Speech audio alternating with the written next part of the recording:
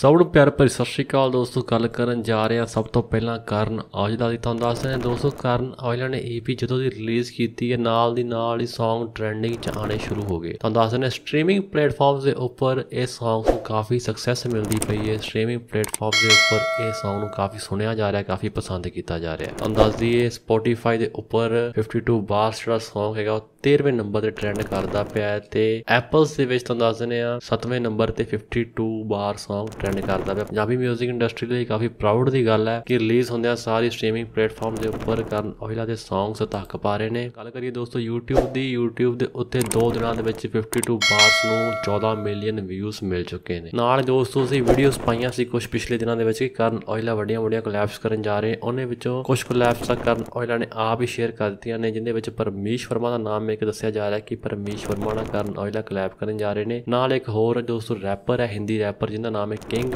ਉਹਦੇ ਨਾਲ ਵੀ ਕਰਨ ਓਇਲਾ ਕੋਲੈਬ ਕਰਨਗੇ। ਹੁਣ ਇਸ ਈਪੀ ਤੋਂ ਬਾਅਦ ਕਰਨ ਓਇਲਾ ਦੀ ਐਂਟਰੀ ਬਾਲੀਵੁੱਡ 'ਚ ਹੋ ਚੁੱਕੀ ਹੈ ਬਾਲੀਵੁੱਡ ਦੇ ਕਈ ਵੱਡੇ ਵੱਡੇ ਕਲਾਕਾਰਾਂ ਨਾਲ ਕਰਨ ਓਇਲਾ ਕੋਲੈਬ ਕਰਨਗੇ। ਇਹਦੇ ਵਿੱਚ ਵੱਡੀਆਂ ਵੱਡੀਆਂ ਬਾਲੀਵੁੱਡ ਦੀਆਂ ਐਕਟ੍ਰੈਸਸ ਵੀ ਹੈਗੀਆਂ ਨੇ, ਜਿਹੜੀਆਂ ਕਰਨ ਓਇਲਾ ਦੇ ਸੌਂਗਸ ਆਪਾਂ ਨੂੰ ਐਜ਼ ਅ ਮਾਡਲ ਦਿਖਾਈ ਦੇਣਗੀਆਂ। ਹੁਣ ਇਹ ਕੌਣ ਕੌਣ ਹੋਣਗੀਆਂ, ਇਹਦਾ ਟਾਈਮ ਆਉਣ ਤੇ ਪਤਾ ਲੱਗੇਗਾ। ਇਸ ਤੋਂ ਪਹਿਲਾਂ ਗੁਰੂ ਰੰਧਾਵਾ ਨਾਲ ਕਰਨ ਓਇਲਾ ਦੀ ਵੱਡੀ ਕੋਲੈਬ ਦੀ ਵੇਟ ਕੀਤੀ ਜਾ ਰਹੀ ਹੈ। ਉਹ ਵੀ ਕੋਲੈਬ ਅਜੇ ਪੈਂਡਿੰਗ ਹੈ। ਉਹਦੀ ਅਨਾਉਂਸਮੈਂਟ ਵੀ ਜਲਦੀ ਹੋ ਸਕਦੀ ਹੈ।